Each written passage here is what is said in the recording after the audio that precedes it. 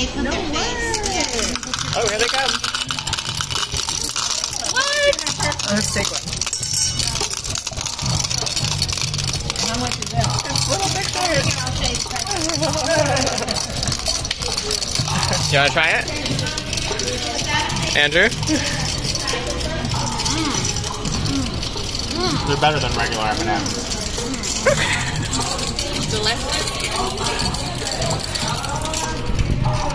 I can't believe it can print them so quickly. I know. Is, whoever thought of that?